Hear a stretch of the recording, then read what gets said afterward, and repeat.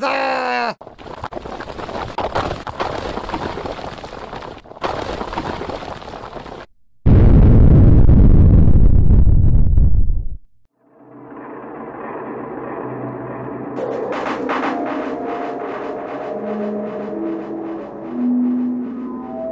Gaia is a composite system, a collection of wisdom and acumen of the scientists who designed it.